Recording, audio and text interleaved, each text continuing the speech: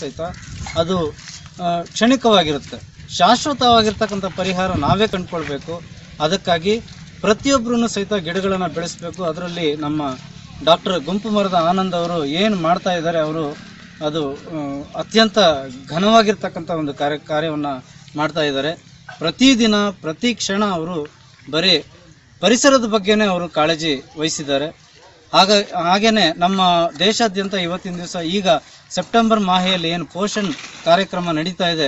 ಪೋಷಣ್ ಅಂತಕ್ಕಂಥದ್ದು ಎಲ್ಲರೂ ಸಹಿತ ಪೌಷ್ಟಿಕಯುಕ್ತ ಆಹಾರವನ್ನು ಸೇವಿಸಬೇಕು ಅಂತ. ಈ ಪೋಷಣ್ ಅಂತ ಕಾರ್ಯಕ್ರಮ ಬಹಳ ಅಗಾಧವಾಗಿರ್ತಕ್ಕಂಥ ಒಂದು ಕಾರ್ಯಕ್ರಮ. ಅದು ಮನುಷ್ಯರ ಪೋಷಣೆ ಅಷ್ಟೇ ಅಲ್ಲ, ಪ್ರಾಣಿ ಪಕ್ಷಿಗಳು ಹಾಗೆ ಗಿಡ ಮರಗಳ ಪೋಷಣೆಯಲ್ಲೂ ಸಹಿತ ಅದು ಮಹತ್ವವನ್ನು ಪಡ್ಕೊಂಡಿದೆ. ಈ ಒಂದು ಪೋಷಣ್ ಕಾರ್ಯಕ್ರಮದ ಅಂಗವಾಗಿ ನಾವು ತಾಲೂಕಿನಾದ್ಯಂತ ಬಹಳಷ್ಟು ಗಿಡಗಳನ್ನು ಪ್ರತಿ ಕಾರ್ಯಕ್ರಮದಲ್ಲೂ ಸಹಿತ ಗಿಡಗಳನ್ನು ಹಂಚ್ತಾ ಇದ್ದೀವಿ. ಅವನ್ನ ಬೆಳೆಸಲಿಕ್ಕೆ ಹೇಳ್ತಾ ಇದ್ದೀವಿ. ಅದನ್ನ ಪೋಷಣೆ ಮಾಡಲಿಕ್ಕೆ ಹೇಳ್ತಾ ಇದ್ದೀವಿ.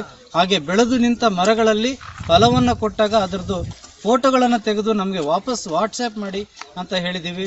ಫಲಗಳನ್ನು ಯಾರು ಹೆಚ್ಚಿಗೆ ಫಲವನ್ನು ಕೊಟ್ಟು